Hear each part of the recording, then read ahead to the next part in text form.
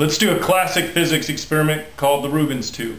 Now, I really wanted to bring it down, but it involves open flames, and some people have issues with open flames. So, what we have here is a length of PVC pipe, has about 100 or so holes drilled at half inch increments, got some foil tape to keep it from melting. On this side, we've got a 2 inch speaker matching the diameter of this 2 inch tube.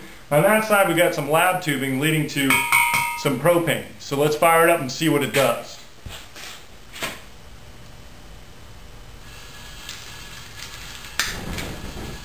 Alright, as you can see we got some nice standing planes, a little bit of oscillation from the vibrations in the hose. Let's throw some sound in there and see what happens. Let's start with a 449 hertz frequency. As you can see, this sets up a standing wave, and we can see, well, the emerging sine curve that represents sound. What happens here is we're having the sound compressing here and not compressing here.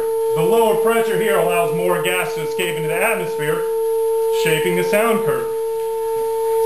Now, if we change the frequency,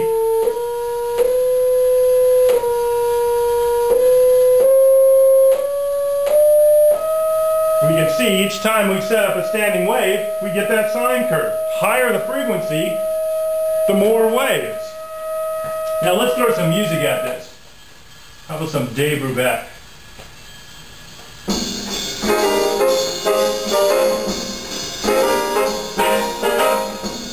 Now we have real life sound visualization with five.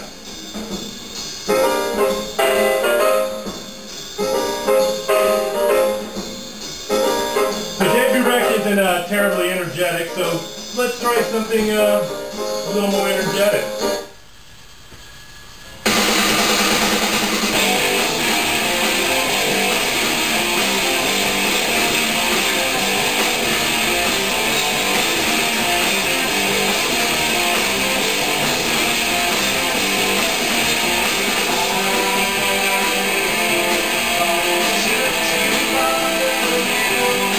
Now that's some good. Uh, I'm going to turn off the gas and have some fun.